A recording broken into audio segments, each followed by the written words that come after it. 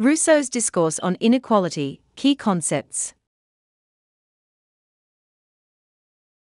This video lecture briefly sketches the key concepts of Rousseau's seminal work titled Discourse on Inequality, to give readers of this important work a clear idea of its trajectory.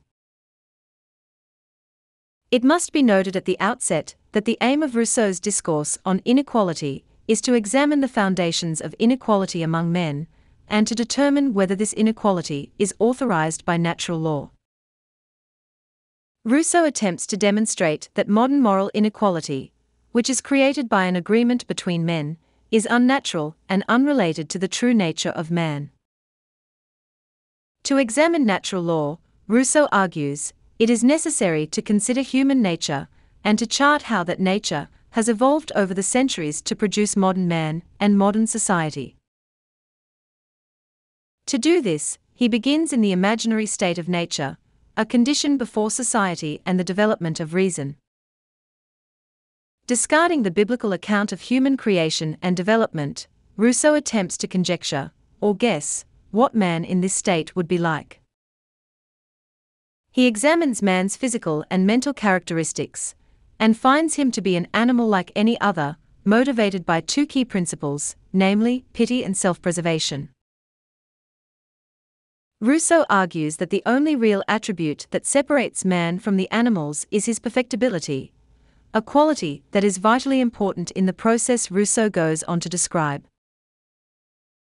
For Rousseau, man in the state of nature has few needs, no idea of good and evil, and little contact with other humans. Nevertheless, he is happy, according to Rousseau. However, for Rousseau, man does not remain unchanged.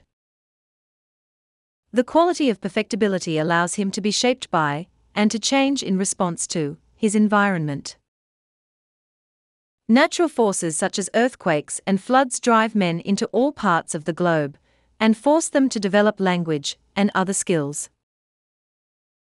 As men come into contact more frequently, small groups or societies start to form.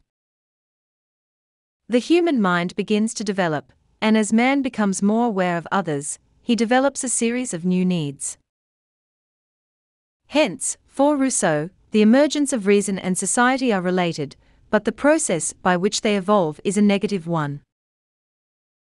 As men start to live in groups, pity and self preservation are replaced by amour propre, which drives men to compare themselves to others, and to need to dominate others in order to be happy. It is important to note that for Rousseau, the invention of property and the division of labor represent the beginning of moral inequality. Property allows for the domination and exploitation of the poor by the rich. Initially, however, relations between rich and poor are dangerous and unstable, leading to a violent state of war.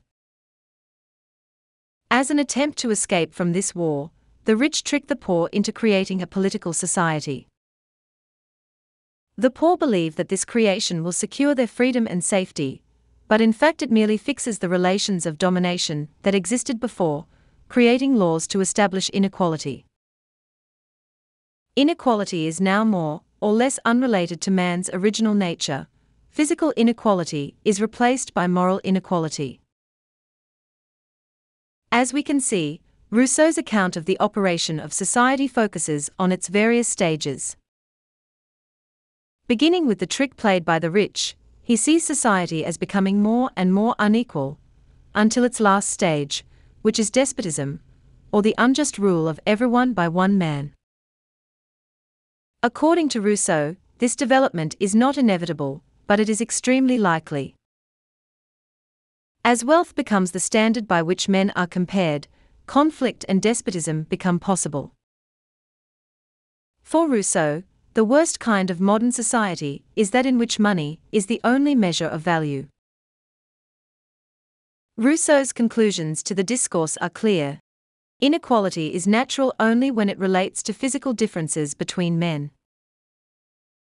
In modern societies, however, inequality derives from a process of human evolution that has corrupted man's nature and subjected him to laws and property, both of which support a new, unjustifiable kind of inequality, termed moral inequality.